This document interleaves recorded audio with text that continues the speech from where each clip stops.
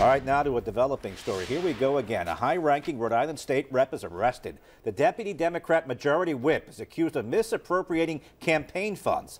Political reporter Bill Rappleye is live in Providence with more on this tonight. Bill? Well, you know, it looked like Representative Joseph Almeida of South Providence was doing pretty well. He won his seat back in 2012, and under Speaker Mattiello, he'd been assigned a leadership position as a deputy majority whip. But after his arrest today, he submitted his resignation and the Speaker accepted it.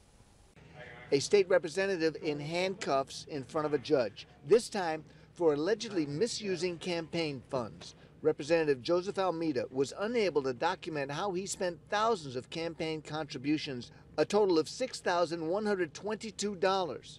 State police arrested him this morning and charged him with misappropriating more than $1,500, punishable by 20 years in jail and a $500,000 fine.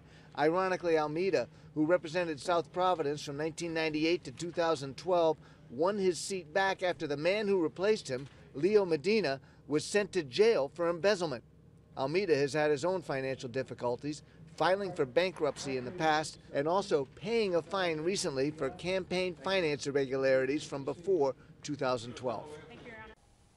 Now, it's not clear whether Representative Almeida, who remains a state representative's fine to the Board of Elections back in May of 2014 had anything to do with these charges that he's facing today.